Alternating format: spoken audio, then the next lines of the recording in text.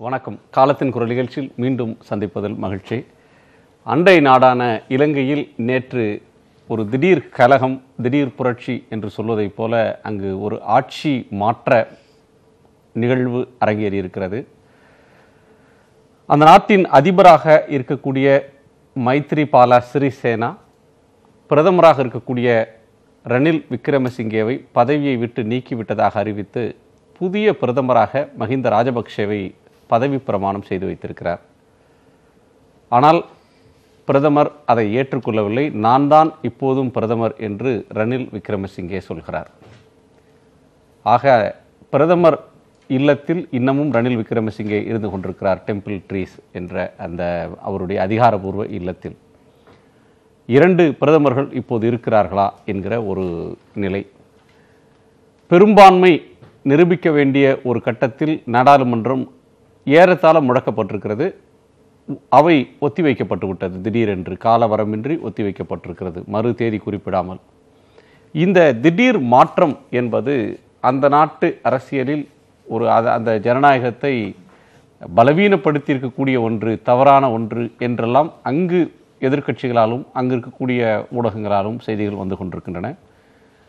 புதிதாக உருவாகியுள்ள மைத்திரிபால சிறிசேனா ராஜபக்ஷ கூட்டணிக்கும் பெரும்பான்மை இல்லை என்பது ஒரு வாதம். தமிழ் தேசிய கூட்டணி என்கிற தமிழர்களுடைய நாடாளுமன்ற உறுப்பினர்களுக்கு கணிசமான பங்கு இப்போது இருக்கிறது. ஆட்சியை தீர்மானிக்கக்கூடிய ஒரு சக்தியாக அவர்கள் இருக்கிறார்கள். அவர்கள் ஏனென்றால் அவர்கள்தான் எதிர்க்கட்சியாகவும் அதிகாரபூர்வ எதிர்க்கட்சியாக தமிழ் தேசிய கட்சி இருக்கிறது. இந்த மாற்றம் தமிழ்நாட்டில் சில அதிர்வலைகளை ஏற்படுத்தியிருக்கிறது. திமுக மதிமுக விடுதலை சிறுத்தைகள் கட்சி பாமக என்கிற பல்வேறு அமைப்புகள் இதில் கருத்து தெரிவித்திருக்கிறார்கள். ராஜபக்சே பிரதமராகி இருப்பது என்பது இலங்கை தமிழர்களுக்கும் தமிழ்நாட்டு தமிழர்களுக்கும் ஒரு அச்ச உணர்வை ஏற்படுத்தி இருக்கிறது என்கிறார் ஸ்டாலின். வைகோ அவர்கள் ஒரு போர்க்குற்றத்திற்கு தண்டிக்கப்பட வேண்டிய ஒருவர் எந்த தண்டனையும் இல்லாமல் மீண்டும் அதிகார அதிகாரத்தில் வந்து அமர்வது என்பது நெஞ்சில் வேல் பாய்ச்சுவதைப் போல் இருக்கிறது என்று வருந்தி இருக்கிறார். தமிழர்களுக்கு இதில் என்ன நடக்கப் போகிறது? இந்த ஆட்சி மாற்றத்தின் பின்னணியில் இருந்தவர்கள் யார்? அது இலங்கையிலேயே உருவாகி இலங்கையிலேயே நடந்து முடிந்துவிட்ட ஒன்றா? அதற்கு அண்டை நாடுகள் என்று சொல்லக்கூடிய இந்தியாவும் சீனாவும் இதில் என்ன பங்களிப்பை செய்திருக்கிறார்கள்? இந்தியா இதில் இதுவரை அதிகாரபூர்வமாக எந்த கருத்தையும் இந்திய அரசு சொல்லவில்லை. வேடிக்கை பார்த்து கொண்டிருக்கிறது. என்ன நடக்கிறது என்பதை கவனித்துக் கொண்டிருக்கிறது. இந்தியாவின் நிலைப்பாடு இதில் என்னவாக இருக்க வேண்டும்? ஏனென்றால் உலக நாடுகள் அமெரிக்கா இங்கிலாந்து போன்ற நாடுகள் அரசியலமைப்பு சட்டத்திற்கு மாறாக செயல்படக்கூடாது என்று கருத்து தெரிவித்திருக்கின்றன. அண்டை நாடுகள் மௌனம் காக்கின்றன. இந்த மௌனம் ஏன் என்பது தொடர்பாக நாம் விவாதிக்கலாம். நம்மோடு இந்த அமர்வில் பாரதிய ஜனதா கட்சியின் திரு. குமரகுரு அவர்கள் தமிழ் தமிழ் தேசிய விடுதலை இயக்கத்தின் திரு. தியாகு அவர்கள் பத்திரிகையாளர்கள் தமிழ்நாட்டின் பத்திரிகையாளர் திரு ஆர் கே ராதாகிருஷ்ணன் இலங்கையைச் சேர்ந்த பத்திரிகையாளர் திரு சோமிதரன் வணக்கம். தியாக அவர்கள்ட்ட சொல்லணும் கேட்கணும். இந்த திடீர் மாற்றம் அப்படின்றத நீங்கள் எப்படி பார்க்குறீங்க? இது உடனடி நிகழ்வுங்கிற முறையில் திடீர் மாற்றம் தான். ஆனால் இது மாற்றமா என்பது அடுத்த கேள்வி. மாற்றம் என்பது அரசின் கொள்கையில் மாற்றம் வரப்போகிறதா? இலங்கை அரசியலினுடைய மையச் சிக்கலாக இருக்கிற தமிழர் தேசிய இன சிக்கலில் ஏதாவது அணுகுமுறையில் மாற்றம் வரப்போகிறதா? சர்வதேச அளவில் ஈழச்சிக்கல் அங்கு நடந்த இனப்படுகொலை குறித்து நடத்தப்பட்டு கொண்டிருக்கிற செயல் வழிகளில் ஏதாவது மாற்றம் வரப்போகிறதா? ஏன்னா கடைசியாக மைத்திரிபால ஐநா பொதுப்பேரவையில் ஆற்றிய உரையிலேயே இதெல்லாம் விட்டுருங்க போர்க்குற்றம் பற்றிய பேச்செல்லாம் விட்டுருங்க எங்களை முன்னேற விடுங்கள் என்று சொல்லி இலங்கை அரசினுடைய பழைய கடப்பாடுகள் இருக்கு பாருங்க. மனித உரிமை பேரவையில் நிறைவேற்றப்பட்ட தீர்மானங்கள் இவர்கள் கொடுத்த உறுதிமொழிகள் தமிழக- எல்லாத்தையும் ஒரு கை கழுவிட்டாங்க. தமிழர் பார்வை தனி தமிழர்களுக்கு தனி நாடு பூர்வீக இரண்டாக பிரிக்கிறது. சுயநிர்ணய உரிமை போர்க்குற்றத்துக்கான தண்டனை அல்லது தன்னாட்சி அப்படின்ற இந்த அம்சங்கள் மீள் குடியேற்றம் இந்த அம்சங்கள பிற்பகுதியில் பேசலாம். இப்போ மாறி இருக்கக்கூடிய அரசியல். இன்னைக்கு வந்து திடீரென்று ஆட்சி மாற்றம் அல்லது பிரதமர் மாற்றம் அப்படின்னு வந்திருக்கு. இதனுடைய சூத்திரதாரிகள் யார்? இது எப்படி இது நிகழ்ந்தது? அதாவதுங்க ஒரு நிகழ்ச்சியில் வந்து அகக்காரணிகள் பல காரணிகள் இருக்கும். நமக்கு தெரிந்தவை தெரியாதவை இருக்கும். இந்திய அரசோட பங்கென்னா சீனத்தோட பங்கென்னா உள்ளூரில் இருக்கிற அரசியல்வாதிகளுடைய பங்கென்னா இதை நாம் வந்து காலப்போக்கில் தான் தெரிந்து கொள்ள முடியும். அதைவிட முக்கியமானது இப்படி ஒரு மாற்றத்தை தூண்டுவதற்கான முரண்பாடுகள் என்ன இருந்துச்சு புறநிலை காரணிகள் என்ன இருந்துச்சு அப்படின்னு நம்ம பார்க்கறதா இருந்துச்சுன்னு சொன்னால் அதனால தான் நான் சொன்னேன் இது ஆள் மாற்றமே தவிர அரசு மாற்றம் அல்ல. இல்ல. ஒரு ஆள் பிரதமராக இருந்தார் இன்னொரு ஆள் பிரதமராக வந்திருக்கிறார். அவங்களுக்குள்ள முரண்பாடுகள் இருந்துச்சு. இப்போ நம்ம என்ன- என்ன குறிப்பாக பார்க்கிறோம்னா இந்திய அரசை பொறுத்தவரை ஆளுகிற கட்சி யார் பிரதமர் யார் என்பதை ஒதுக்கிவிட்டு பார்த்தோம்னா மஹிந்த இருந்தபோது மேற்கொண்ட அணுகுமுறைக்கும் மைத்திரிபால இருக்கும்போது மேற்கொள்ளுகிற அணுகுமுறைக்கும் எந்த வேறுபாட்டையும் பார்க்க முடியல. இருக்கும்போது பின்னாடி நீங்க பார்க்கிற பார்வை வேற. நீங்க வந்து தமிழ்நாட்டுக்கு முதலமைச்சராக யார் இருந்தாலும் ஒண்ணுதான். உங்களை பொறுத்தவரை எடப்பாடி பழனிசாமி முதலமைச்சர் ஆனாலும் மு க ஸ்டாலின் முதலமைச்சர் ஆனாலும் அல்லது எந்த கட்சி முதலமைச்சர் ஆனாலும் அதுல ஒன்றும் சிறப்பு கிடையாது. நான் கொஞ்சம் வேறுபடுறேன். இங்க நான் அப்படி சொல்லுவதற்கு காரணம் இது இறைமையற்ற அரசு. இவர்கள் அதிகாரம் இல்லாத அங்க அப்படி நான் பார்க்கல. அவங்க இறைமை உள்ளவர்கள் அதிகாரம் உள்ளவர்கள் தமிழர்களுடைய வாழ்வையும் சிங்களவர்களுடைய வாழ்வையும் தீர்மானிக்கக்கூடிய சக்தி உடையவர்கள். நான் இதையும் அதையும் ஒப்பிட்டு சொல்லவே. தமிழ்நாட்டு கட்சிகள் ராஜபக்சே இது ஆனதை வைகோ கண்டிக்கிறார் அன்புமணி கண்டிக்கிறார். ராஜபக்சேவுக்கு அங்கீகாரம் இந்தியா தரக்கூடாது. தமிழர் கோணத்தில் இது ஒரு துரோகம். தமிழர் முதுகில் மைத்திரிபாலா குத்தி விட்டார் ஆனா குத்தி விட்டார் என்பது எனக்கு அதிர்ச்சி அளிக்கல. அவர் கடைபிடித்து வந்த கொள்கைகள் இங்கே தான் போய் முடியும். மைத்திரிபா ராஜபக்ஷ இருந்தால் என்ன செய்வார்? இதே ரணில் யாழ்ப்பாணத்திற்கு பொங்கல் விழாவிற்கு போகிற போது தமிழ் மக்களை பார்த்து சொன்னார் இந்த காணா போயிட்டாங்கன்னு சொல்லி நீங்கள் தேடிக்கிட்டு இருக்கிறீங்களே அவர்கள் எல்லாம் இறந்து விட்டார்கள். இவர் சொல்றார் இறந்து விட்டார்களா? நோய் வந்து இறந்தார்களா? இல்லை கொல்லப்பட்டார்கள். ஒரு அரசின் பிரதமர் இந்த நாட்டு மக்களில் இத்தனை ஆயிரம் பேர் கொல்லப்பட்டு விட்டார்கள்னு சொல்லிட்டு அதுக்கான எந்த நடவடிக்கை பற்றி அறிவிக்கல. ரெண்டு இருக்கு. ஒண்ணு இது இந்தியா தான் காரணம் இந்த ஆட்சி மாற்றத்துக்குன்னு வைகோ சொல்றாரு. சைனா காரணம் பின்னாடி இருந்ததுன்னு திருமாவளவன் ஒரு பார்வையை முன்வைக்கிறாரு.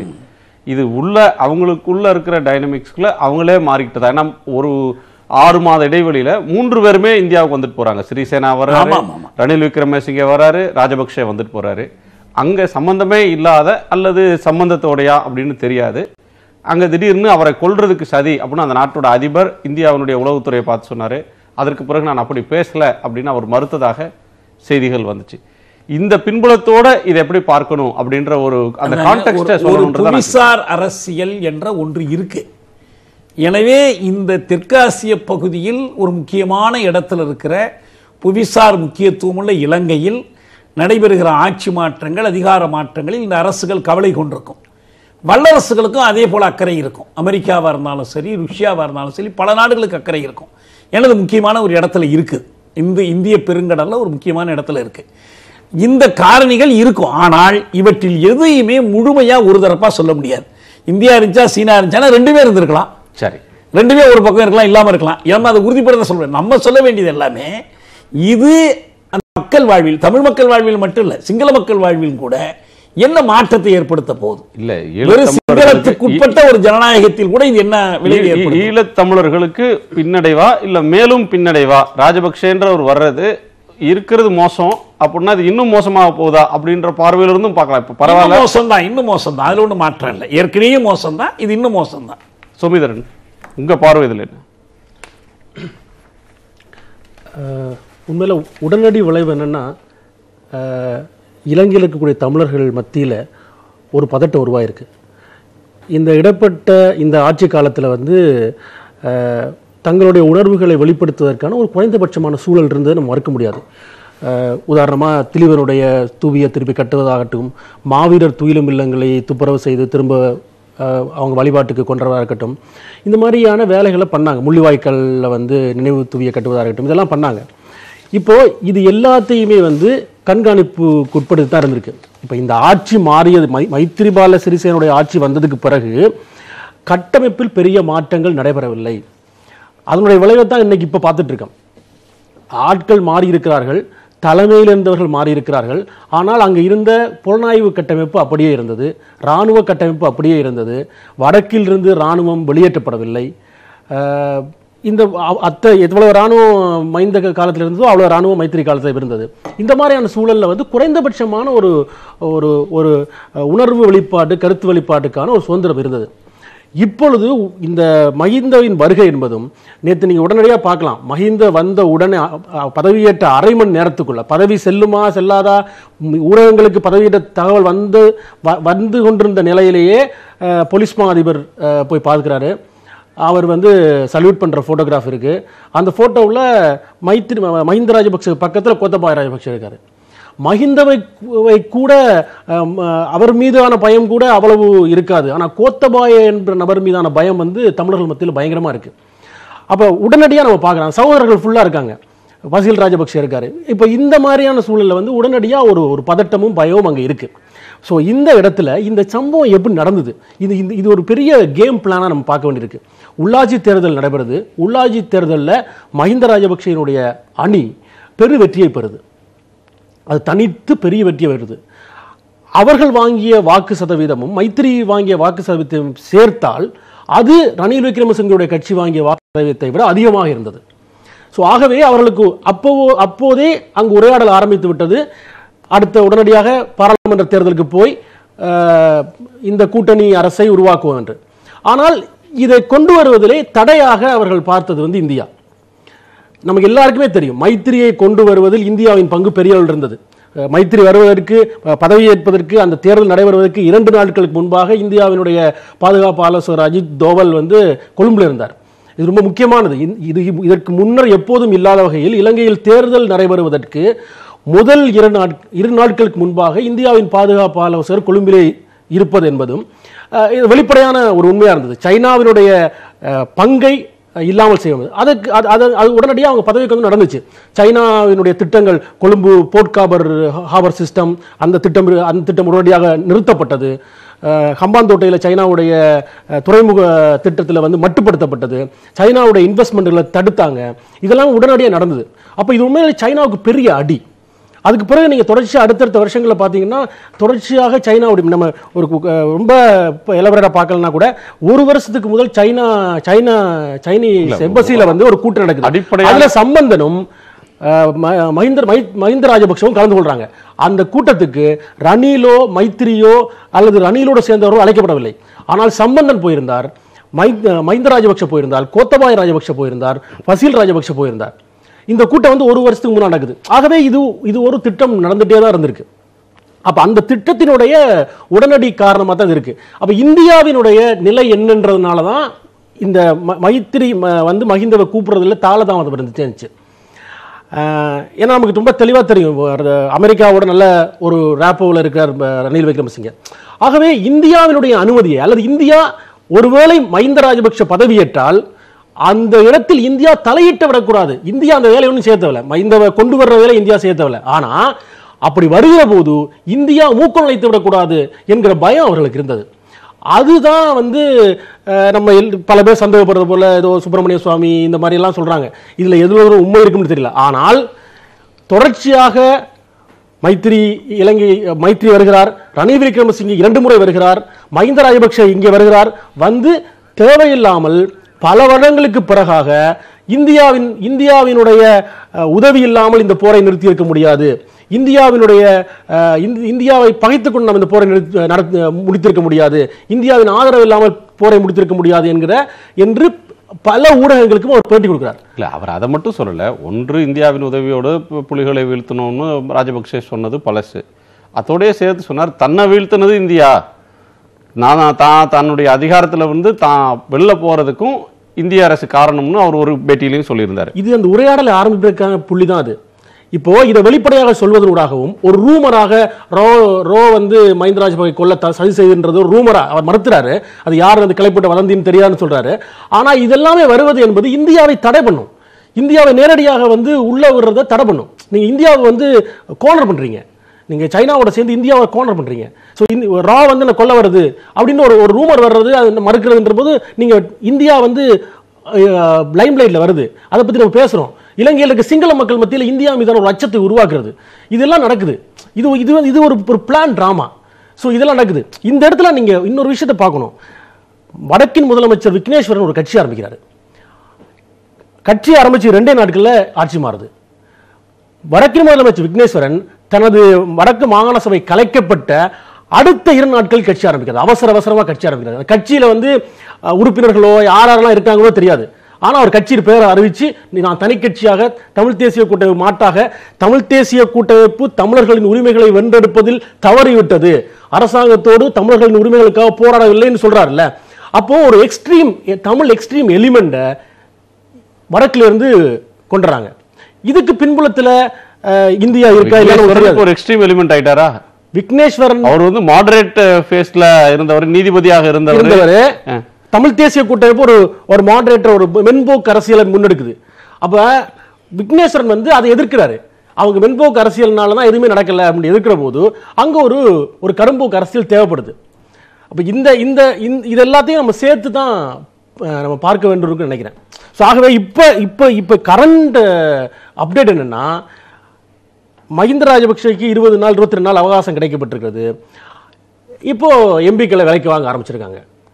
பெரும்பாலும் அங்கே இருக்கக்கூடியவருடைய கணிப்பு வந்து இந்த இருபது நாள் நேரத்தில் பெரும்பாலான எம்பிக்கள் அவருக்கு தேவையான எம்பிக்களை அவர் வாங்கிவிடுவார் கூவத் கூ- கூவத்தூர் குற்றாலம் மாதிரி அங்கேயும் வந்து இப்போ அணிதாவல் கட்சி தாவல் எம்பிக்களை கூப்பிடுறது. நேற்றே அவர் ராஜபக்சே பதவியேற்ற விழாலே இவருடைய வந்து காசு வந்து உள்ளூர்லயே பம்ப் பண்ணுவாங்க இலங்கையை பொறுத்தவரையில் அது சைனாவாகவோ அல்லது வேற வெளிநாடுகள்ல இருந்து கூட அந்த காசு பம்ப் பண்ணுவாங்க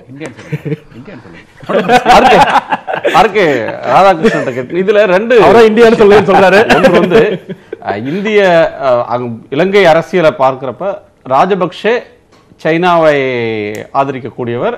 சைனா அவருடைய அரசை ஆதரிக்கும்.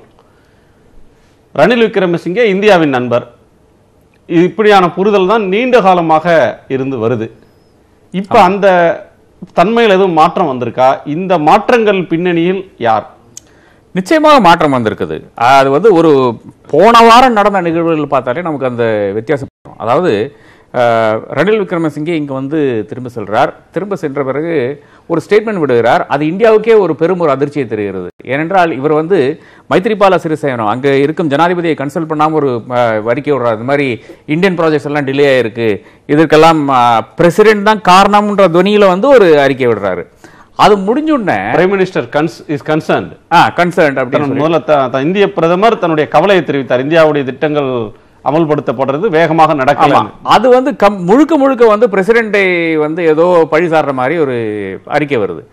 அதன் பிறகு இமீடியட்டாக சுப்ரீம் கோர்ட்டுக்கான இது கான்ஸ்டியூஷனல் கோர்ட்டுக்கும் சுப்ரீம் கோர்ட்டு சர்க்கியூட் கோர்ட்டுக்குமான நாமினேஷன்ஸை வந்து இவர் நிறுத்தி வைக்கிறாரு. கேபினெட் வந்து அந்த பரிந்துரையை வந்து ஏற்கவில்லை. பிரசிடென்ட்டுடைய பரிந்துரை ஏற்கவில்லை. அதன் பிறகு மறுபடியும் அது அது ஒட்டி தான் சிறிசேனா மேலே இந்த மாதிரி ரா வந்து அவரை கொல்ல முயற்சி பண்ணுது அப்படின்னு இந்த மூணு செய்திகளும் வந்து போன ஒரு வாரத்தில் வந்த செய்திகளாக இருக்கிறது. இதுதான் ஒரு இம்மீடியட் காஸாக அங்கே இருக்கிறவர்கள் கூறிக்கொண்டிருக்கிறார்கள்.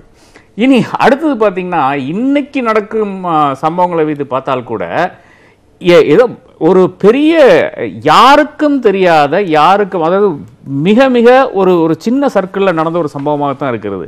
ரணில் விக்ரமசிங்கே வந்து இந்த டெம்பிள் ட்ரீஸ் அவருடைய பிரைம் மினிஸ்டருடைய இல்லத்திலிருந்து அவரை வந்து வெளியே கொண்டு வர வேண்டும் என்றால் அது ஒரு சைனாவுடைய ஹெல்ப்போ இல்லைன்னா இந்தியாவோட ஹெல்ப்போ இந்த இவர்களுக்கு அதாவது மை சிறிசேனா மைந்தாவுக்கு இருந்திருந்தால் ஹெல்ப் இருந்திருந்தால் இல்லை என்றால் சப்போர்ட் ஓவர்ட் சப்போர்ட் இருந்திருந்தால் நிச்சயமாக அது எளிதாக நடந்துவிடும்.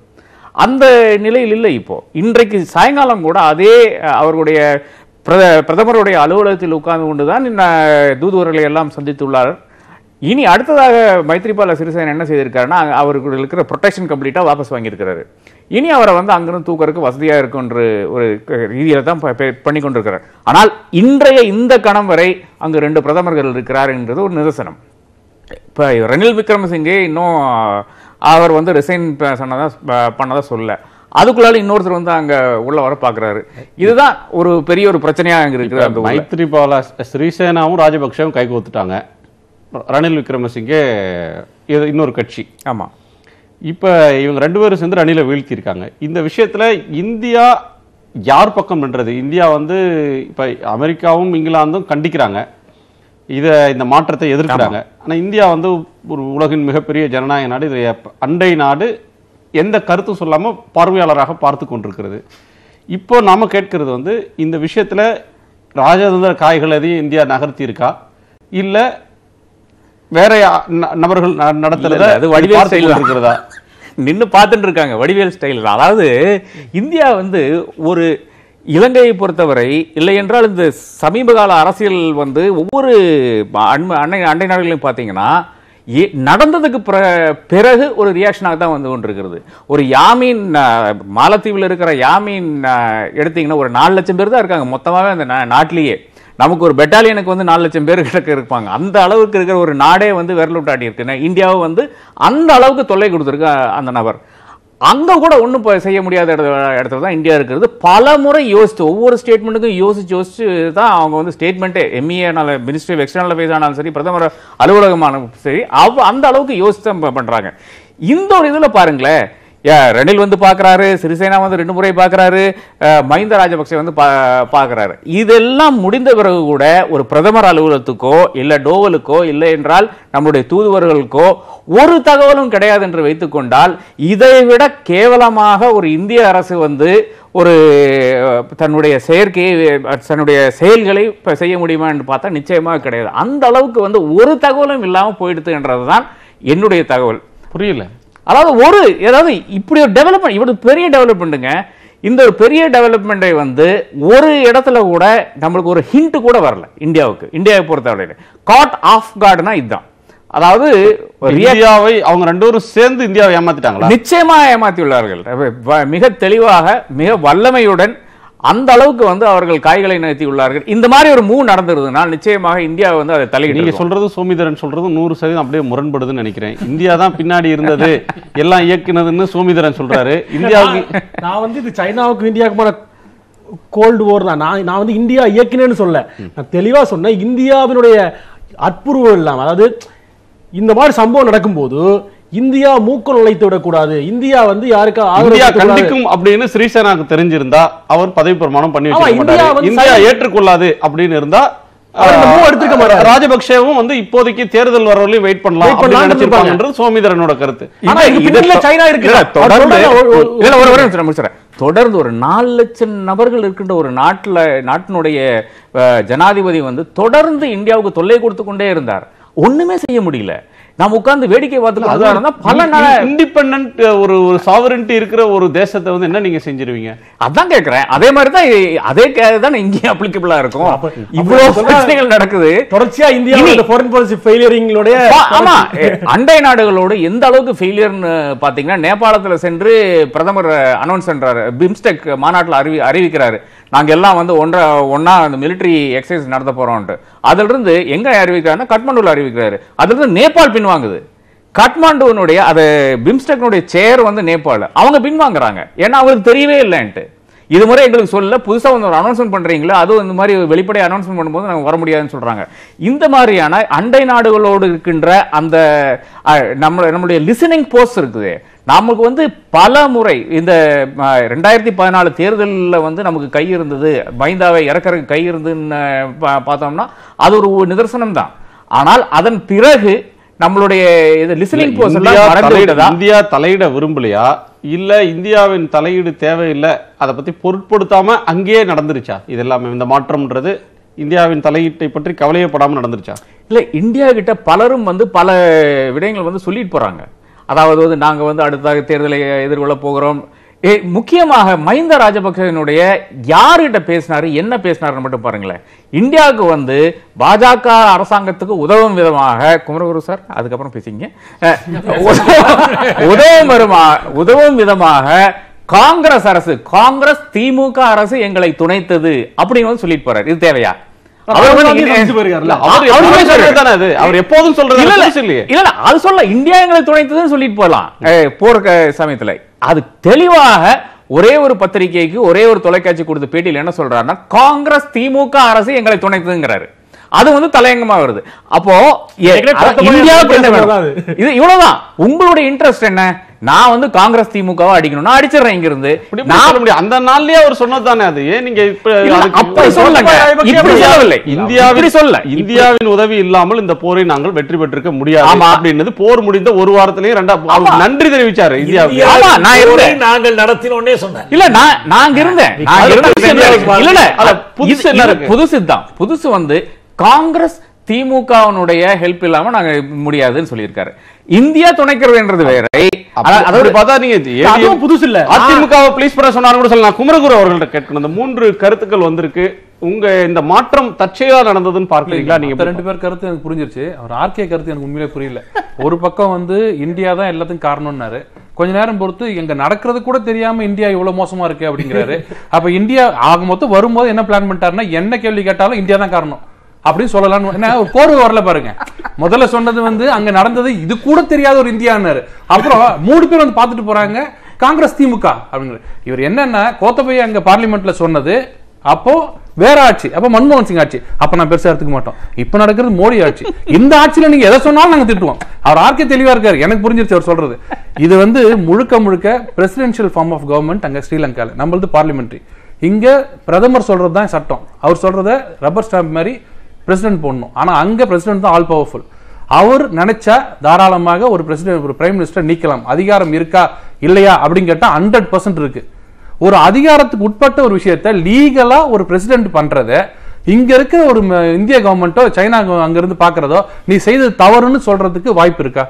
மிலிட்ரி கூ ஓவர் நைட்ல மிலிட்ரி வந்து சுத்தி ஒரு ஆட்சியை கைப்பற்றினா அவன் பக்கத்துல இருக்க நாடுகள் சொல்லலாம் கமெண்ட் அடிக்கலாம். இது லீகலா அந்த அந்த ஸ்பீக்கர் சொல்றாரு கரெக்ட் நான் லீகல் அட்வைஸ் வாங்கிக்கிட்டு நவம்பர் அது சண்டே அன்னைக்கு நான் வைக்கலாமா வேணாமான்னு முடிவு சூப்பர் பண்ணுவோம் சூப்பர் அப்புறம் ஏன் வர வைக்கல நீங்க? இருங்க. இல்ல இல்ல. எது வர வைக்கணும் இப்ப ராஜபக்சே வர வைக்க வேண்டியது எதுக்கு வர வைக்கணும் இன்னும் என்னன்னு தெரியலீங்க. பக்கத்துல நடக்குது. இயு அமெரிக்கா எல்லாமே யூரோப்பிய யூனியன் சொல்லிருச்சு. அமெரிக்கா சொல்லிருச்சு. இங்கிலாந்து சொல்லிருச்சு. ரொம்ப இன்வால்வ்டா இருக்க ஒரு நாடுல? இலங்கை பிரச்சனை இன்வால்வ்டா நல்ல விஷயம். இவங்க என்ன சொல்லுவாங்க? ராஜபக்சே வந்தது வர வைக்கிறோம்னு வச்சுங்களேன். உடனே ஆர்கே லட்டு சாப்பிட்ட மாதிரி. இவர் ஏன் வர வைக்கிறாரு? ஏன் தெரியுமா? இவர் அத்தனை பேர். இல்ல இல்ல ஸ்டாண்ட் எடுக்க கூடாது எப்ப எடுக்கணும்னா ஸ்டாண்ட் அங்க கிளியர் ஆனதுக்கு அப்புறம் எடுக்கணும். இங்க பண்றதுக்கு உள்ளே சொ- ஒரு பேச்சுக்கு வச்சுங்க இந்தியா சொல்லிடுச்சு இப்ப பண்ணது தவறு அப்படின்னு சொல்லிடுச்சு. நாளைக்கு ராஜபக்சே ஜெயிச்சிட்டாரு பார்லிமெண்ட்ல. என்ன இந்தியா என்ன பண்ணும்? சரி அமெரிக்கா எதுக்கு கண்டிக்கிறாங்க? எதுக்கு? அமெரிக்காவும் இங்கிலாந்து மாதிரியானவங்க அவங்க அவங்க அங்கிருந்து பாக்குறதுக்கு அவங்களுக்கு என்ன அஜெண்டா வேணுமோ அவங்க என்ன எதிர்பார்த்தாங்க நடக்கலாம் கண்டிப்பாங்க. பக்கத்துல இருக்கிற நாடு நமக்கு இது என்ன நடக்குது அங்க என்ன பண்ணிட்டு இருக்காங்க லீகலா கரெக்டா இல்லையா இது மட்டும் தான் நீங்க பார்க்கணும் நீங்க என்ன சொல்லணும் நீங்க பண்ணது தவறுங்க நீங்க வந்து ஓவர் நைட்ல நீங்க எடுத்து வெளில யாராவது ஒருத்தராவது இங்க இருக்கிற அறிவுஜீவிகளோ அங்க இருக்கிற லீகல் எக்ஸ்பர்ட்ஸோ இவருக்கு பவர் இல்லைன்னு யாராவது ஒருத்தர் சொல்லியிருக்காங்களா கூட்டணி தர்மத்தை மீறி விட்டார் மாறலா இது இல்ல, தப்புன்னு power இல்ல, சொல்றாங்க. power இல்ல, Power இல்ல. இல்ல, இல்ல. பதிமூணு- 19A. ஒரு சின்ன இது ஏன்னா இப்ப புதிய பத்தொன்பதாவது திருத்த சட்டத்தின் அடிப்படையில வந்து அந்த சர் நிறைவேற்று அதிகாரங்கள் குறைக்கப்பட்டிருக்கு. பிரதமருக்கான அதிகாரங்கள் கூட கூட வந்திருக்கு. அதனால பிரைம் மினிஸ்டர் வந்து பழைய மாதிரி வந்து நீக்க முடியாது. சொல்ல முடியாது. இல்ல இல்ல அவர் ரணில் சொன்னது கேளுங்க. நீ உங்களுக்கு பவரே இல்லைன்னு சொல்லல. எனக்கு மெஜாரிட்டி பார்லிமெண்ட்ல இருக்கு. நீ எதுக்கு என்ன எடுத்த? அப்படின்னு கேக்குறாரு. மெஜாரிட்டி பார்லிமெண்ட்ல இருக்குன்னு சொல்றாரு. அப்ப இருக்குன்னு எங்க ப்ரூவ் பண்ணோம் மெஜாரிட்டி பார்லிமெண்ட் ப்ரூவ் பண்ணணும். நீங்க ப்ரூவ் பண்ணுங்க. நான் என்ன சொல்றேன்? இவர் வந்தாலும் அவர் வந்தாலும் நம்ம இங்க இருந்து பாக்குறதுக்கு அங்க லீகலா என்ன நடக்குது? ப்ரூவ் பண்றதுக்கு முன்னாடி பாராளுமன்றத்தை ஒத்தி வச்சிட்டாங்க. ப்ரோரோக் பண்ணிட்டாங்க. நான் கால வரம்பு இல்லாம பண்ணிட்டாங்க. அன்னைக்கு. பதினாறாம் தேதி வரைக்கும் பண்ணிருக்காங்க அது வந்து நாளைக்கு சுப்ரீம் கோர்ட் மூவ் பண்ண போறேன்றாங்க. ஏன்னா சுப்ரீம் கோர்ட் நவம்பர் 15 ஆரம்பிக்குது. சுப்ரீம் கோர்ட்ல மூவ் பண்ண போறாங்க. நான் என்ன சொல்றேன்? அவர் ஆர்கே அவர்கள் ரொம்ப ஒரு ஒரு வேண்டுகோள் வைக்கணும் என்னன்னா எனக்கு ஒரு வாய்ப்பு கொடுக்கணும். தமிழ் மீனவர்கள் வந்தால் சுட்டுக் கொள்வேன்னு சொன்ன ரணில் அங்கிருந்து போனதுக்கு இவ்வளவு வருத்தப்படுறாரு? இல்ல இல்ல. வந்து மகிழ்ச்சி அடைறீங்க. இல்ல, நான் இவர் அதுல ரணில் தமிழர்களை. சுட்டுக் கொல்லணும்னு சொன்னவரை அவர் போயிட்டாரு நீங்க மகிழ்ச்சி அடைறீங்க. நீங்க அடிக்கல நீங்க அடையலையா ஒரு தமிழனா நீங்க அடையலையா? யார் வந்திருக்கா? அவர் இல்ல, யார். அருமையான வார்த்தை. அதுதான் இந்த பாயிண்டே சொன்னேன். யார் வந்திருக்கிறது? கோத்தபய இவர் நம்ம ராஜபக்ஷ வந்திருக்காரு. அவர் என்ன சொல்றாரு? கலைஞர் அவர்கள் நாங்க உண்ணாவிரதம் இருந்தபோது முதல்ல இருந்தாரு. கள நிலவரங்களை நாங்கள் சொன்னோம். அவர் புரிந்து கொண்டு விண்ணாவிரத்தை நிறுத்திவிட்டார்.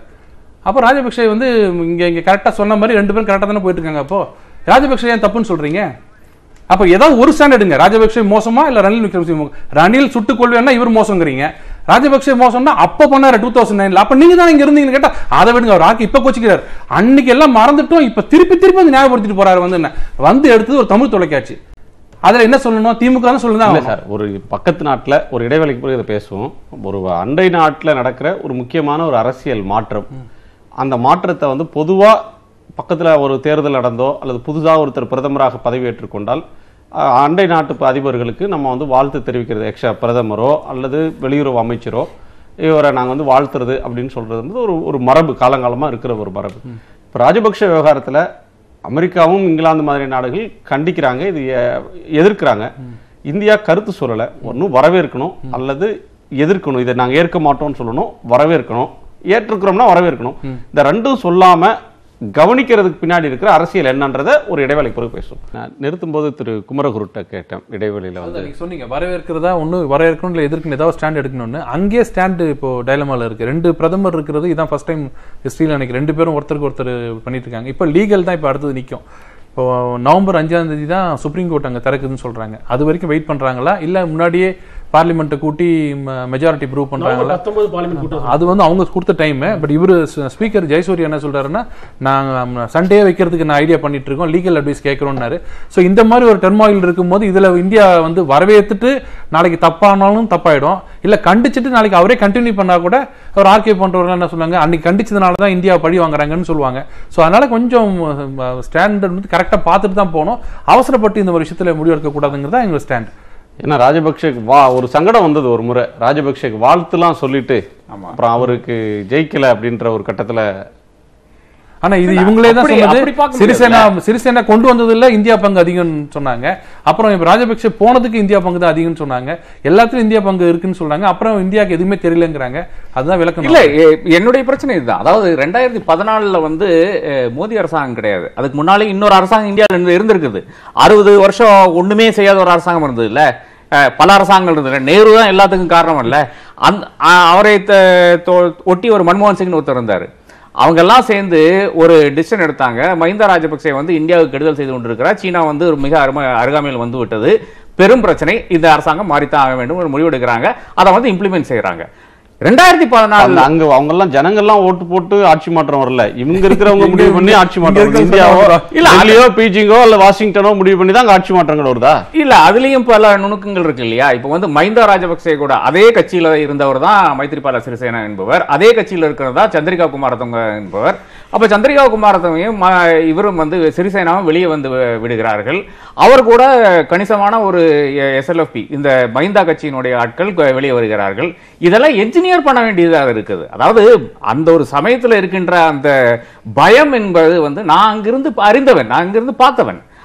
அந்த அளவுக்கு வந்து பயம் இருக்கிற ஒரு இடத்துல வந்து ஒரு சீனாவோ ஒரு இந்தியாவோ ஒரு அமெரிக்காவோ வந்து ஒத்துழைக்காவிட்டால் இல்லை என்றால் ஹெல்ப் செய்யலை என்றால் நிச்சயமாக முடியாது. பல கால்ஸ் வந்து வைபர் கால்ஸ்ல பண்ணியிருக்காங்க. வாட்ஸ்அப் அந்த டைம்ல வாட்ஸ்அப் கிடையாது. வைபர் கால்ஸ்ல பண்ணி அந்த அது மூலயமா அவ்வளோ ஒரு சீக்கிரட்டாக ஒரு கூட்டணியாகத்தான் இது இருந்தது. இந்த சீக் அதாவது ஒரு ம, ஆளுங்கட்சியில் இருக்கின்ற பல எலமெண்ட்ஸும் ஒன்றா வர வேண்டும் என்றாலே எவ்வளவோ பிரச்சனைகள் இருக்குது அதெல்லாம் கூட்டி கொண்டு வந்தது அவர்களாக ஒன்று செய்யவில்லை. நிச்சயமாக வெளியே இருக்கின்ற இந்தியாவினுடைய கை இருக்கு என்று நான் அறி- அறிந்தவன். அதனால கூறுகிறேன். அது முடிந்து விட்டது அதன் பிறகு நீங்க என்ன செய்து கொண்டிருக்கிறீங்களோ கேள்விதான். அதன் பிறகு உங்களுடைய லிசனிங் போஸ்ட் அங்க பல படிப்படியாக வந்து நீங்க- குறைத்து கொண்டு வந்தீர்களா? இல்லை வந்து அவ்வளவு எபிஷியன்ட் ஆளுகளை போடவில்லையா? இப்ப சிபிஐ நடந்துட்டு இருக்கு இல்லையா? அந்த மாதிரி போடவில்லையா என்ற கேள்விதான் வருகிறது. என்னை பொறுத்த அளவில் வந்து உங்களுடைய லிசனிங் போஸ்ட் அதாவது நீங்க வந்து உங்களுடைய அங்கே இருக்கும் கிரவுண்ட்ல இருக்கிற ஆட்கள் வந்து தங்களுடைய வேலையை ஒன்னோ ஒழுங்காக செய்யவில்லை. இல்லை என்றால் உங்களுக்கு அதற்கு உகந்த ஆளுகளை நீங்க அங்க வந்து நியமிக்கவில்லை என்ற கேள்வி பிரச்சனை தான் இருக்கிறது. ஆட்சியில் இப்போ ரெண்டு பிரதமர்கள் யார் அடுத்த பிரதமர் யார் பெரும்பான்மை நிரூபிக்க போகிறாங்கன்றது அடுத்த கட்டம். இது தமிழர்களுக்கு என்ன செய்யும்? தமிழ் மக்கள் எதிர்நோக்க எதிர்நோக்கிற ஏதேனும் தீர்வுக்கு அல்லது அவங்களுடைய அன்றாட வாழ்வு ஒரு இயல்பு நிலைக்கு திரும்பி கொண்டிருக்கிறது ஒரு போர் முடிந்து ஒரு மறுகட்டமைப்புன்றது நடக்குது அவங்களுக்கு ஒரு ஒரு உள்ளாட்சி தேர்தல் அங்கே மீள் குடியேற்றம் இதெல்லாம் நடந்துட்டு இருக்கிற நேரத்தில் இந்த மாற்றம் அப்படின்ற ஒன்று தமிழர்களுக்கு ஏதேனும் வகையில் நல்லதாகவோ கெடுதலாகவோ முடியுமா? தமிழர்களுக்கான அடிப்படை சிக்கல்கள். அதை பொறுத்த வரைக்கும் இப்போ கடைசியாக வடமாகாண சபை ஒரு மனதாகவே ஒரு தீர்மானம் இயற்றியிருக்கு. இந்த தீர்மானத்தில் அவங்க என்ன கேட்டிருக்கிறாங்க? ஒரு பன்னாட்டு நீதி பொறிமுறை ஏற்படுத்தணும் நடந்த இன அழிப்பு குறித்து. இரண்டு எமது அரசியல் எதிர்காலத்தை நாங்கள் முடிவு செய்வதற்கான பொது வாக்கெடுப்பு நடத்தப்பட வேண்டும். இதுதான் தமிழ் மக்களுடைய கோரிக்கைங்க அடிப்படை கோரிக்கை. இதை ஒட்டி அரசியல் கைதிகள் விடுதலை செய்யப்படுவதாக உறுதியளித்துவிட்டு இதுவரை விடுதலை செய்யாமல் இருக்கிறாங்க. இராணுவம் வடக்கு மாகாணத்தில் பெரிய அளவில் தரித்து நிற்கிது அங்கு உலகில் எந்த நாட்டு ராணுவம் செய்யாத விவசாயம் வணிகம் ஹோட்டல் தொழில் எல்லாவற்றையும் செய்து கொண்டிருக்கிறது. இன்றைக்கும் சித்திரவதைகள் தொடர்கிறது என்று ஐநா அறிக்கையாளர்கள் சொல்லிக் கொண்டிருக்கிறாங்க. ஐக்கிய நாடுகள் சபைக்கு ரெண்டாயிரத்தி பதினாறு மார்ச் மாதம் முப்பதின் கீழ் ஒன்று தீர்மானத்தில் இலங்கையே கொடுத்த வாக்குப்படி பன்னாட்டு பங்கேற்புடன் கூடிய ஒரு நீதி சிறப்பு தீர்ப்பாயத்தை ஏற்படுத்துவது அதில் காமன்வெல்த் உள்ளிட்ட பன்னாடுகளின் உலக நாடுகளின் நீதிபதிகள் வழக்கு தொடுநர்கள் வழக்கறிஞர்கள் புலனாய்வாளர்கள் இடம்பெறுவது. இதில் ஒரு அங்குலம் கூட நகரவில்லை. காணாமல் அடிக்கப்பட்டவர்கள் உலகத்தில் ஈராக்கிற்கு அடுத்த இடத்தில் இருப்பது இலங்கை தான் அந்த காணாமல் அடிக்கப்பட்டவர்களை கண்டுபிடிப்பதற்கென்று நாங்கள் அமைப்பு ஏற்படுத்துகிறோம்னு சொல்லி ஒன்றுமே இல்லாத பல்லில்லாத ஒரு ஆணை அலுவலகம் ஒன்றை தான் தொடங்கியிருக்கிறாங்க. அதை தாண்டி அதில் வேற ஒன்றுமே நடக்கலை. பயங்கரவாத தடுப்பு சட்டம் என்று அவர்கள் கொடுத்த மாற்று சட்டம் பழைய சட்டத்தை விட மோசமாக இருக்கிறது என்று அவங்க பக்கத்தில் நிற்கிற சுமந்திரன் போய் அமெரிக்க செனட்டர்கள்ட்ட பேசிட்டு இருக்கிறாரு. ஆக ஒன்றுமே நடைபெறவில்லை. உருப்படியான இது அவங்க எல்லாத்தை விட முக்கியமாக மைத்திரிபாலாவும் ரணில் விக்ரமசிங்கேயும் கூட்டு சேர்ந்து தமிழ் மக்களுக்கு கொடுத்த வாக்குறுதியே என்னன்னா இனச்சிக்கலுக்கு தீர்வாக புதிய அரசமைப்பு சட்டத்தை இயற்ற போறோம். அதற்காக நாடாளுமன்றத்தையே அரசமைப்பு பேரவையாக மாற்றி தீர்மானம் போட்டார்கள். அரசமைப்புக்கான ஆயத்த குழுக்களை ஏற்படுத்தினார் இவ்வளவையும் சொல்லிதான் அவங்க தமிழ் மக்கள் பெற்றார்கள். ராஜபக்சே தனிமைப்படுத்தினாங்க தோக்கடிச்சாங்க இந்த வாக்குறுதிகள் எல்லாமே காலாவதி ஆகி போச்சு. எதுவுமே நிறைவேற்றப்படல. உலகத்திற்கு கொடுத்த வாக்குறுதிகள் தரப்ப நிறைவேற்றப்படலை. தமிழர்களுக்கு கொடுத்த வாக்குறுதிகள் நிறைவேற்றப்படலை. ஐநா தீர்மானத்திற்கு இந்தியாவின் ஆதரவை பெற்றுக் கொள்வதற்காக கொடுத்த வாக்குறுதிகள் நிறைவேற்றப்படலை. ஆக எல்லா கமிட்மெண்ட்ல இருந்தும் அவங்க பின்வாங்கிட்டாங்க. இந்த நேரத்தில் இவர்கள் ம- இவரே ரணிலே நீடிச்சிருந்தாலும் சரி அல்லது ராஜபக்ஷ இப்போ வந்திருக்கிறது இது யார் பிரதமராக வந்தாலும் இதில் ஏதாவது மாற்றம் வரப்போகிறதா என்பதை அவர்கள் சொல்லணும். சர்வதேசத்திற்கும் சொல்லணும் நமக்கு சொல்லணும் இந்தியாவுக்கு சொல்லணும் தமிழ் மக்களுக்கு சொல்லணும். இதான் இங்கே அடிப்படை சிக்கல். எனவே இந்த சிக்கலுக்கு தீர்வு காணாமல் அவர்களுடைய அரசியல் வருங்காலம் என்ன? அவங்க என்ன சொன்னாங்க? ஐநா தீர்மானத்தில் சொன்ன அந்த நீதி இருக்கு பாருங்க. டிரான்சிஷனல் ஜஸ்டிஸ் நிலைமாற்ற நீதி. ஒரு இணக்க நிலையிலிருந்து அமைதி நிலைக்கு போவதற்கான நீதி பொறிமுறைகள். அந்த நீதி பொறிமுறைகளில் இவர்கள் வாக்களித்த அவர்களே கொண்டு வந்த தீர்மானம் மற்ற அமெரிக்க தீர்மானம் இந்திய தீர்மானம்லாம் இல்லை. It was a co-sponsored resolution இலங்கையும் சேர்ந்து முன்மொழிந்த தீர்மானம். மனித உரிமை ஆணையத்துல மனித உரிமைகள் ஐநா அமைப்புல வந்து அன்றைய காங்கிரஸ் அரசு பின்பற்றின அதே கொள்கையை தான் இவர்களும் பின்பற்றுகிறார்கள். இன்றைய பிஜேபி அரசும் அதுல இந்திய வந்து மாற்றமே. அவர்களுக்கு காங்கிரஸ் பின்பற்றாத ஒரு நல்ல அணுகுமுறையை இவங்க பின்பற்ற தொடங்கி இருக்காங்களா இல்ல இல்ல. அப்ப இப்ப நம்ம கேட்கிறோம். நீங்க பின்பற்றுங்கள். உங்களுடைய அயலுறவு கொள்கைக்கு எதுங்க ரொம்ப சிறந்தது? நான் சொல்றேன். ராஜபக்சேயை சார்ந்து நிற்கிற அயலுறவு கொள்கையா? ரணிலை சார்ந்து நிற்கிற அயலுறவு கொள்கையா? மைத்ரிபாலாவை சார்ந்து நிற்கிற அயலுறவு கொள்கையா? அல்லது ஒரு தேசிய இனத்தை சார்ந்து நிற்கிற அயலுறவு கொள்கையா? இலங்கை என்பது இரண்டு தேசங்களை கொண்ட ஒரு நாடு. அன்னைக்கு அந்த காலத்தில் எஸ்டபிள்யூஆர்டி பண்டார் நாயக்காவிலிருந்து எழுபத்தி ரெண்டில் புதிய அரசமைப்பை எழுதிய கொலின் டி சில்வா வரைக்கும் இரண்டு மொழிகள் ஒரு நாடு. ஒரு மொழிதான் என்றால் இரண்டு நாடுகள் என்று பேசினவங்க தானே? இன்னைக்கு அந்த நிலைமை வந்துருச்சு இல்லை இப்பயாவது இந்தியா என்ன செய்யணும்? தமிழர்களுடைய சுயநிலை உரிமையை அங்கீகரிக்கணும். தமிழர்களுக்கு எதிராக இழைக்கப்பட்ட இன அழிப்புக்கு நீதி கேட்கணும். அந்த நீதியை பன்னாட்டு பொறிமுறைகள் மூலமாக தான் உருவாக்க முடியும். நம்ம ஒன்றும் அதுக்காக நீங்கள் அங்கே இருக்கிற போ- நீங்கள் கலந்துங்க நீங்கள் ஒருத்தர் ஆதரிங்க எதிர்கள்லாம் நம்ம கேட்கல. சர்வதேச சட்டங்களின்படி ரைட் டு ப்ரொடெக்ட் இருக்கு ரெஸ்பான்சிபிலிட்டி டு ப்ரொடெக்ட் இருக்குது ஆர் பின்னு தீர்மானம் ரெண்டாயிரத்தி ஆறு தீர்மானம் இருக்குது ஐநாவில் இந்தியா வைத்திருக்கிற பங்கு என்ன? இப்போ என்னன்னா ஒரு விஷயத்தை நம்ம புரிஞ்சுக்கணும். போர் முடிந்த பத்தாண்டுகள். இது ரொம்ப முக்கியமான விஷயம். நான் திரும்ப திரும்ப ஒவ்வொரு உரையாடலையும் நான் அதை சொல்லியிருக்கேன் அவங்க ரொம்ப தெளிவாக அடுத்த பத்தாண்டு ஐந்தாண்டு திட்டமாக வரையறுத்து அடுத்த பத்தாண்டு திட்டத்தை வரையறுத்திருக்காங்க. நீங்கள் ஐயா சொன்னது போல ஏற்கனவே இந்த அரசு மைத்திரி ரணில் கூட்டு அரசாங்கம் பதவியேற்கும் போது இருந்த போர்க்குற்ற விசாரணைகள் உலகத்தினுடைய கண்டனங்கள் எதுவுமே இல்லை இப்போ. இப்போ அந்த கேம் பிளான் படி இது எல்லாமே ரைஸ் பண்ணிட்டு இப்போ ம- ம- மஹிந்த ராஜபக்ச புதுசாக வந்து ஃப்ரெஷ்ஷாக திருப்பி ஆரம்பிக்கிறாங்க. ஸோ ரெண்டாயிரத்தி பத்தொன்பதாம் ஆண்டு பத்தாண்டு வருகிற போது அவர்கள் தங்களுடைய போர்க்குற்றங்கள் இந்த பிரச்சனை எல்லாத்துலேருந்து கடந்துருவாங்க. தாங்கள் செய்ய வேண்டிய ரொம்ப தெளிவான ஒரு ஸ்ட்ரக்சரை போருக்கு பின்னான போஸ்ட் ஓர் மெக்கானிசம் அவர்கள் சார்ந்து பொலிட்டிக்கல் மெக்கானிசத்தை அவர்கள் தெளிவாக பண்ணியிருக்காங்க ஆனால் தமிழ்நாடு தரப்பில் நம்ம அதை பண்ணவே இல்லை. தமிழர் தரப்புல என்னாச்சுன்னா ஒரு கட்சியாக இருந்த தமிழ் தேசிய கூட்டமைப்பு இப்போ பல கட்சிகளா இருக்கு. நாளைக்கு ஒரு தேர்தல் வந்தால் பல முனை போட்டி இருக்க போகுது. எப்படி முஸ்லீம்கள் ஒரு கட்சியாக இருந்த முஸ்லீம்கள் வந்து இப்போ பல கட்சிகளாக இளைஞர்கள் இருக்காங்க. அதனால தான் இப்போ இப்போ இப்போ இந்த பொலிட்டிக்கல் இந்த ப்ராப்ளத்தில் நம்மளால் தமிழ் தேசிய கூட்டமைப்புடைய அரசியல் முடிவோ நம்மளால் ரணிலுக்கோ யாருக்கோ ரணிலுக்கு தான் வாய்ப்பு இருக்குன்னு சொல்ல முடியுது. ஆனால் முஸ்லீம்கள் கட்சிகளை சொல்ல முடியல. ஏன்னா அவங்க ஒருத்தர் எம்பி சீட் அமைச்சர் சீட் வாங்கிட்டு போனாங்கன்னா மற்ற எல்லாரும் வரிசையாக போயிடுவாங்க. ஆகவே ஒரு ஸ்டேபிள் இல்லாத தங்களுடைய இனம் சார்ந்து பேச முடியாத நிலைமை இருக்கு. அதே மாதிரியான சூழல் வந்து இங்கேயும் வந்துருச்சு அப்ப பத்தாண்டுகள் என்ன இருக்கு? அவர்கள் மிக தெளிவாக தங்கள் மீது போடப்பட்ட கரைகளை அழித்து விட்டார்கள். இல்ல, இப்ப அமெரிக்காவும். திட்டத்துல இல்ல. அப்ப நீங்க முள்ளிவாய்க்காலுடைய பத்தாண்டு நினைவு வந்து அடுத்த வருஷம் வரப்போகுது வருகு வருகிற போது இந்த அரசியல் அப்படியே மாறுது. சிங்களருடைய அரசியல் வேற இடத்துக்கு போகுது. பத்தாண்டுகள்ல யாரும் தண்டிக்கப்படல. இந்தியா- வந்து மனித உரிமை விஷயத்துல அவங்கள தண்டிக்கணுன்றதுல முனைப்பு காட்டல அப்படின்னு சொன்னா உலகத்துல மற்ற நாடுகள் மனித உரிமையை தீவிரமா பேசுற ஐரோப்பிய எல்லா நாட்டையும் ஏமாத்திருக்காங்க. அதுதான் சொல்றேன். இதுதான் அவன் இதுதான் ரொம்ப கிளேவரான பாலிடிக்ஸ் சொல்றேன். இதுதான் காய் நகரத்தில் சொல்றேன். இப்ப ஐயா சொன்னது போல இந்தியா இந்தியாவினுடைய அயல்றவு கொள்கையில் இருக்கக்கூடிய தோல்வி தான் இங்க ஐயா சொல்றாரு. இப்போ சைனாவுக்கும் இந்தியாவுக்குமான ஒரு கோல்டு போர் நடந்துட்டே இருந்தது. அதை நான் ஆரம்பத்திலே சொன்ன மாதிரி கடந்த ஒரு வருஷத்துக்கு முன்னாடி அவங்க ம- மஹிந்த ராஜபக்சேயும் சம்பந்தனையும் ஒன்றா கூப்பிட்டு ஒரு டின்னர் கொடுக்குறாங்க. சைனா தூதரகம். சைனா தூதரகம் எல்லா பத்திரிகையாளர்களையும் சைனாவுக்கு டூர் அழைச்சிட்டு போறாங்க இலங்கையிலிருந்து. இதை வந்து மைத்ரி வந்த போ வந்ததுக்கு பிறகு அங்க இருக்கக்கூடிய சைனா தூதரகம் மிக தெளிவாக வேலை பண்ணிட்டே இருக்கான். இது ரொம்ப முக்கியமான விஷயம் நம்ம பார்க்க வேண்டியிருக்கு. அப்போ இந்த இடத்துல இருந்து தான் நம்ம இந்த இந்த அரசியலை நோக்க நோக்க வேண்டியிருக்கு. இன்னொரு விஷயத்தை நம்ம சொல்லி முடிச்சிட்டேன். இப்போ அடுத்த கட்டமா என்ன போகும் அப்படின்ற கேள்வி இருக்கு. இப்போ சைனா இப்போ மை மஹிந்த ராஜபக்ஷ அடுத்த ப்ரொப்போசலை முன்வைப்பார். இப்போ இந்த இருபது நாள் அவகாசத்துல சைனாவுடைய பின்பலம் இருந்தால் மிக இலகுவாக தனக்கு தேவையான எம்பிக்களை அவர் வாங்கிவிடுவார்.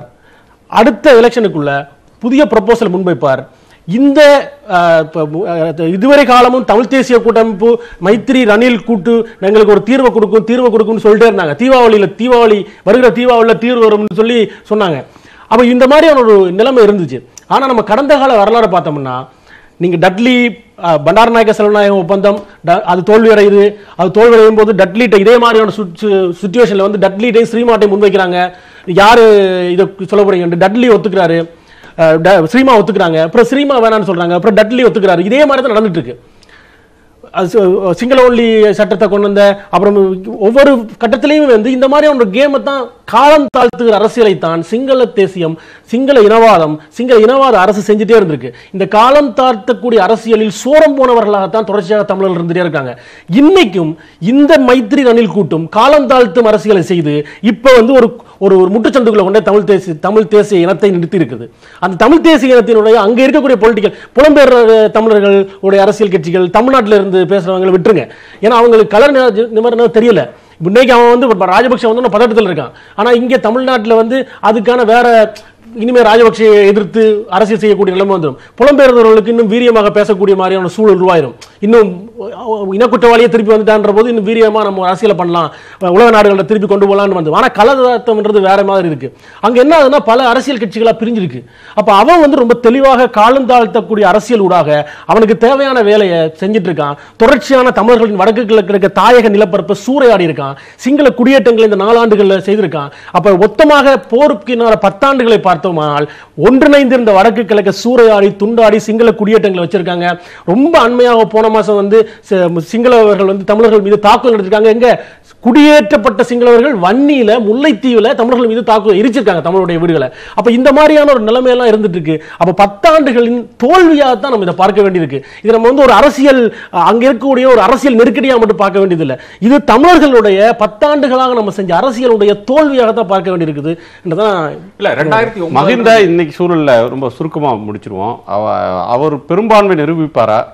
இந்த பிரதமர் மாற்றம் அப்படின்றது நிச்சயமாக நிச்சயமா பிரதமர் மாற்றம் தான் அப்படின்ற ஸ்டேஜ் போகுமா? இல்ல அது ரிவர்சல் ஆகிறதுக்கு எதுவும் வாய்ப்புகள் இருக்கா? நிச்சயமாக ரிவர்சலாருக்கு இன்றைய தேதியில் வந்து வாய்ப்புகள் இல்லை.